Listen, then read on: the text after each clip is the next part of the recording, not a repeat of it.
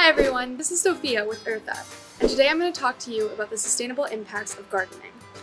The average US household budget for food at home is almost $4,000. By gardening, you're saving a ton of money and you're having fun while doing it. By growing food yourself, you're not only saving money, but you're also protecting the environment.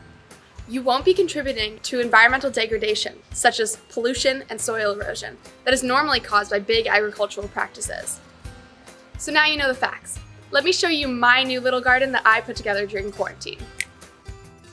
As a novice gardener, I decided to grow a bunch of different things to see how they would grow in my climate.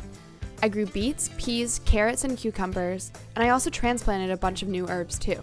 Take a look at the description below for the full list of plants. If you live in an apartment, don't you worry. Here's a list of plants that you can grow inside.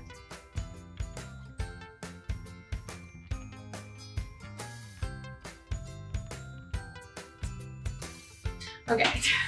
As you can see, there are a lot of amazing upsides to gardening that is easy on your wallet and also great for the environment.